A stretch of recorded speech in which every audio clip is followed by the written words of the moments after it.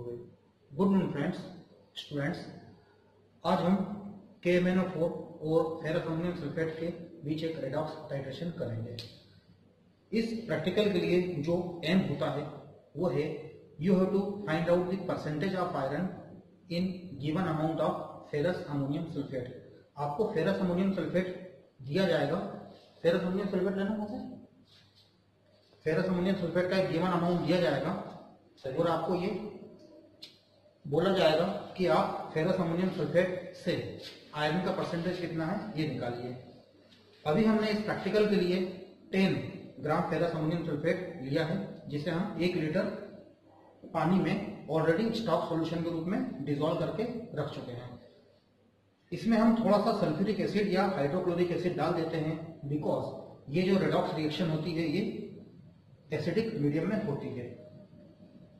Redox titration के लिए हम लोगों ने के एम फोर को भी तैयार किया है। मैंने यहाँ पर one by thirty normal K M four prepare किया है। 1.05 ग्राम के एम फोर को एक लीटर पानी में डिजोल्व करके and this is our stock solution so let's start first of all solution reaction start करने के लिए हमें के एम फोर लेना होगा। ब्यूरेट में सो ब्यूरेट में के एम हम लेते हैं। मेरे पास जो ब्यूरेट है इन जनरल 50 एम का होता है, लेकिन यहाँ पर 100 एम का ब्यूरेट हम लोगों के लैब में अवेलेबल है। So we are doing practical with this burette. Always funnel का यूज़ करिए आप लोग, जब भी सॉल्यूशन फिल करते हैं ब्यूरेट में। और जब आपका 100 एम या 50 एम जो भी आपका मार्क है। मेरे ब्यूरेट में दिया है 27 डिग्री सेंटीग्रेड पे। एक मार्क दिया है 100 एम का। नौ इसके बाद जितना भी यहाँ पर रेसिडुअल ये जो स्पेस दिख रही है आपको, इसको भी आपको फिल करनी है। तो सबसे पहले मैं देखिए, इधर।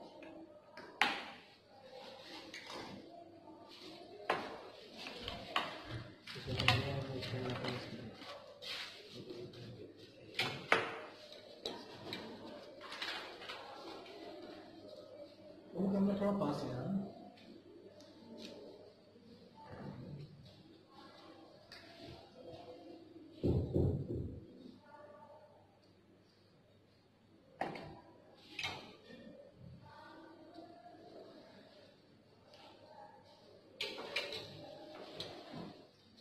ये हंड्रेड एम एल अबाउट तो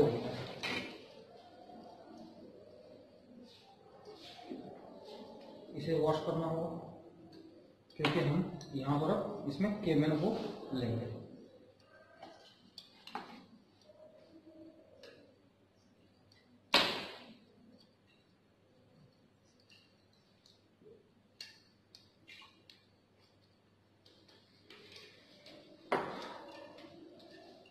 अब एक definite amount of ferrous ammonium sulphate जो कि स्टॉक सॉल्यूशन में मैंने तैयार करके रखा था, वो हम इसमें लेंगे। डेफिनाइट अमाउंट में मैंने। यहाँ पर जो पिपेट है, ये मेरे 10 एम की पिपेट है। तो for sake of our calculation मैं 20 एम लूँगा इसमें। तो 20 एम लेने के लिए मैं डायरेक्ट स्टॉक सॉल्यूशन से ही सब कर लेता हूँ, है ना? अदरवाइज़ इसको पहले आप एक बीकर में या छोटे फ्लास्क में लीजिए देन सब करना इजी होता है। लेकिन टाइम की कमी के कारण मैं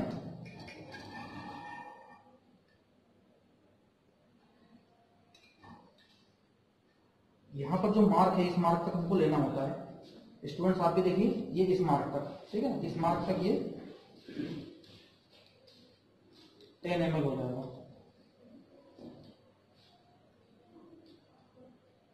दिस इज़ टेन एम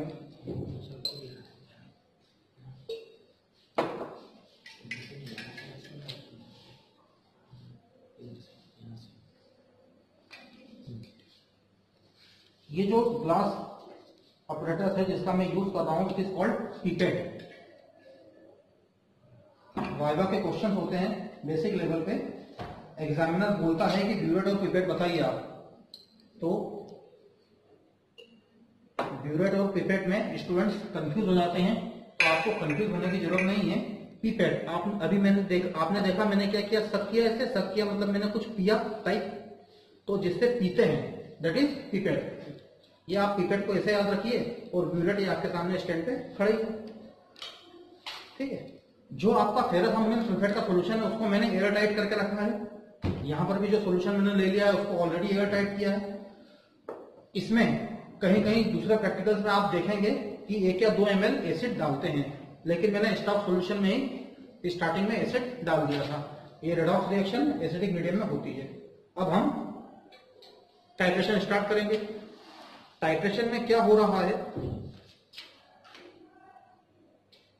ये जो केमेनोफोर है केमेनोफोर आप देखिए डिसअपियर हो रहा है। वन मोर कैमरा पास लाइए। हाथ से ले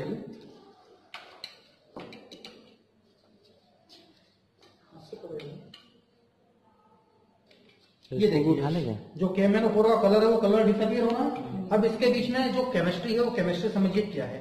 इसकी केमिस्ट्री ये है कि जो नीचे फेरस है Fe2 टू प्लस वो इलेक्ट्रॉन दे रहा है और Fe प्लस थ्री में कन्वर्ट हो रहा है। वो जो इलेक्ट्रॉन है, उस इलेक्ट्रॉन का यूज़ कर रहा है KMnO4 जो MnO4 नेगेटिव आयन है, वो Mn प्लस टू में कन्वर्ट हो रहे हैं इलेक्ट्रॉनों को लेकर, ठीक है? तो जैसे ही MnO4 की बूंद ड्रॉप गिरती है, किसमें? ये फेरस के सॉल्यूशन में।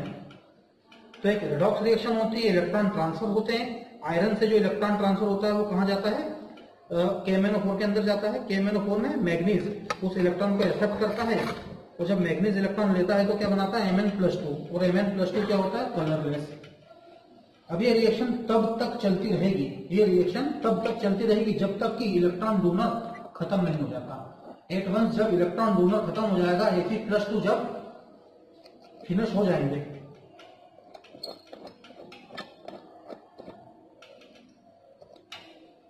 तब क्या होगा? जो ऊपर से ड्रॉप आएगा आयरन का। जो ऊपर का आयरन का ड्रॉप है वो क्या होगा फिर? ऊपर का जो एम एन फोर का ड्रॉप है, वो ड्रॉप पिंक का कलरलेस नहीं होगा, वो पिंक की पिंक रह जाएगा।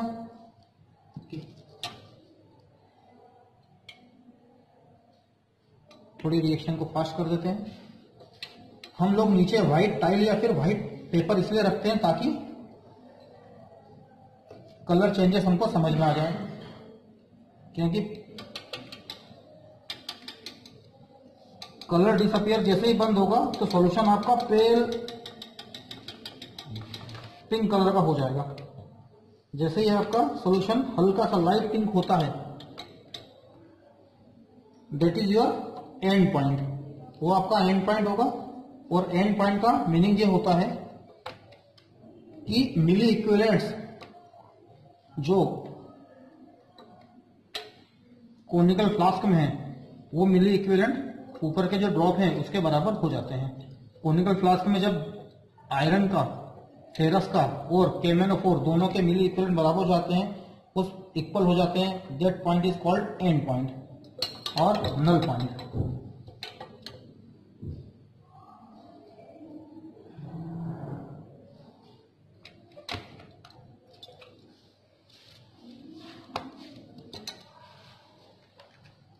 समथिंग जो रीडिंग है, वो 16 अराउंड आ गई है।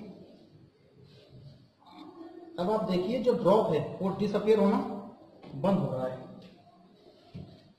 ड्रॉप जो है वो डिसअपियर होने में टाइम ले रहा है। एंड दिस इज़ से नल पॉइंट अब ड्रॉप डिसअपियर नहीं हो रहा, ये दिस वन दिस कलर ये जो कलर है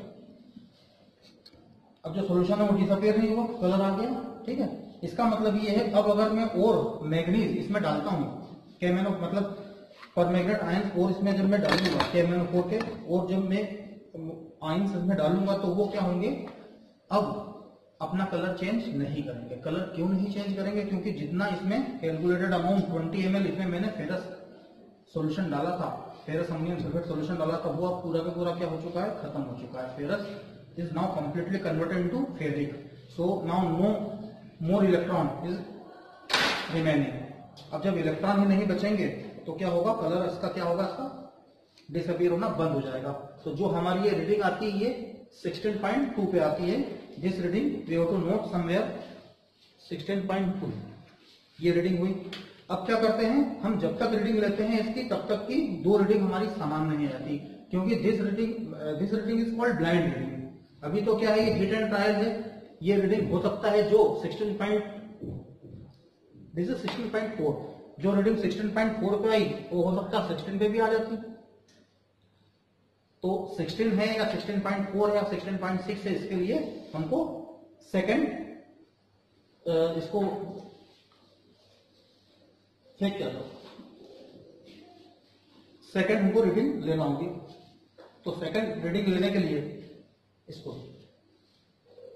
सेकंड रीडिंग लेने के लिए हम फिर से सेम एक्सपेरिमेंट करेंगे। स्टॉक सॉल्यूशन जो है केमेनोकोर का। स्टॉक सॉल्यूशन से थोड़ा सा पीछे। स्टॉक सॉल्यूशन से थोड़ा मैंने केमेनोकोर ले लिया। With the help of funnel हम ब्यूरोट को अगेन फिल करेंगे। 50 या 100 एम तक, मेरा जो बीकर है, मेरा जो ब्यूरोट है ये 100 एम का। ठीक है?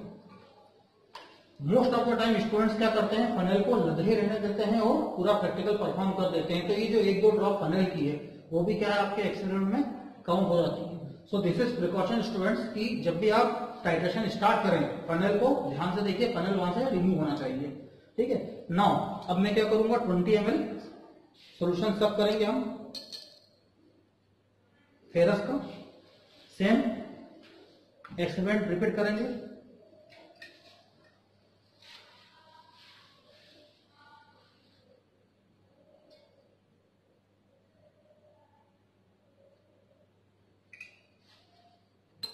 This is 10 ml.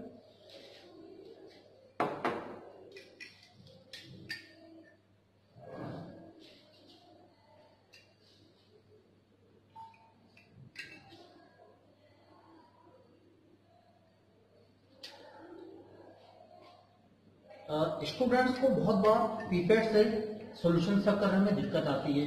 तो उसका भी मैं आपको एक इजी टेक्निक बता देता हूँ। पीपेट का ये जो नीचे का नोब है, ये नीचे का नोब आप क्या करें, जो भी आप ऑपरेटर्स ले रहे हैं, जो भी सोल्यूशन स्टॉक सोल्यूशन जिसमें रखा है सोल्यूशन आपका जिसमें रखा है, उसकी आप तल पे इसको रख दें। आप उसके तल पे इसको रख देंगे तो क्या होगा, नीचे से ये नोब बंद हो जाएगा। तो इजीली सोल्यूशन ऊपर से नीचे नहीं आएगा।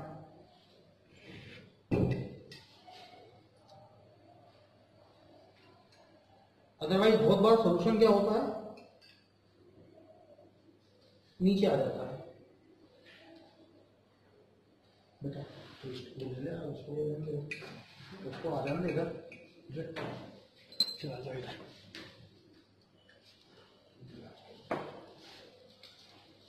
जब भी फेरस अमोनियम सल्फेट का प्रैक्टिकल कर रहे हैं आप बीकर का ढक्कन लगाना मत भूलें और ये it should be air tight otherwise जो फेरस है, वो फेरिक में कन्वर्ट हो जाता है एटमोस्फेरिक ऑक्सीजन के साथ। अगेन हमने इसमें क्या किया है?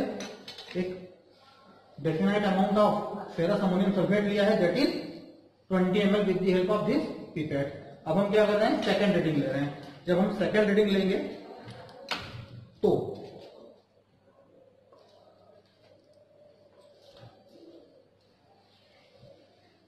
अब सेकंड रीडिंग जो होगी वो ब्लाइंड रीडिंग नहीं होगी। हमें समथिंग 10 एम तक तो सॉल्यूशन को ऐसे ही हम स्विप कर सकते हैं। फ़र्स्ट रीडिंग हमारी जो आई थी 16.2 पे आई थी। तो सेकंड रीडिंग में मोर आर लेस 14 के अराउंड आना चाहिए। जब तक हमारा सोल्यूशन फोर्टीन एम तक नहीं होगा जब तक तो रीडिंग आने के चांस क्या है, बहुत ही लिस्ट है।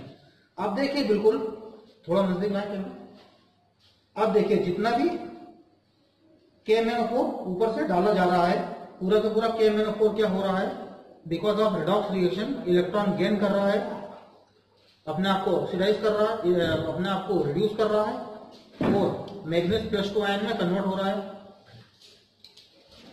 मैग्नेस प्लस टू आयन में कन्वर्ट हो रहा है। Manganese plus two ion colourless होते हैं। Manganese plus two ion colourless होते हैं। तो ये आपका जो के एम एन है वो कलरलेस होता जा रहा है। रीडिंग समथिंग 11 के आसपास आ गई है। अब मैं थोड़ा सा ड्रॉप बाय ड्रॉप इसको डाल दूँगा और हमको वहाँ देखना, जब ये ड्रॉप डिसअपियर होना, बंद हो जाएगा। ड्रॉप डिसअपियर होना तब बंद होगा, जबकि उसे इलेक्ट्रॉन नहीं मिलेंगे। इलेक्ट्रॉन नहीं मिलेंगे क्यों? क्योंकि पूरा का पूरा ferrous Fe plus two Fe plus two plus three में कन्वर्ट हो चुका होगा। वो पॉइंट हमें मेजर करना है। तो ऊपर की रेटिंग कहूँ कितनी आपको? नहीं आ, देख सकते हो आप थोड़ा पास लगा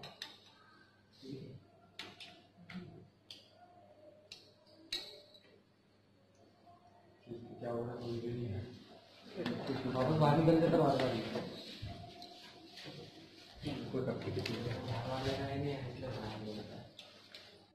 तो हो जाएगा एडिटिंग कर रहे हैं।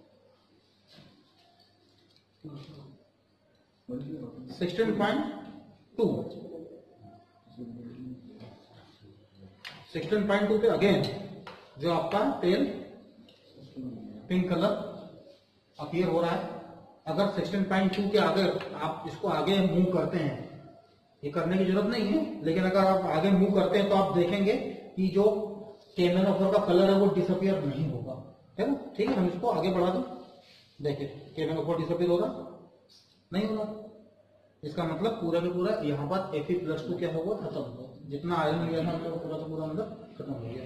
तो ये केमेनोफोर का कलर वैसा की वैसे है डिसअपियर होना बंद हो गया। बीस एम एल ट्वेंटी एम जो मैंने फेरस लिया था स्टॉक सोल्यूशन लिया था, उसके लिए कितने की रिक्वायरमेंट हुई यहाँ पर? 16.2 की रिक्वायरमेंट हुई। ऐसा बहुत रेयरली होता है कि पहले रीडिंग और दूसरी रीडिंग दो बार में सेम आ जाए। अदरवाइज़ हमको थर्ड रीडिंग लेना पड़ती है। तो 16.2 हमारी दो बार सेम रीडिंग आ गई है। तो no need to do this practical again and again 16.2 ही क्या है? ओके रीडिंग है। अगर ये 16.2 की जगह 16 आ जाती then we have to proceed for third reading हमको तीसरी रीडिंग लेना पड़ती कि 16.2 है कि 16. uh, या 16 है।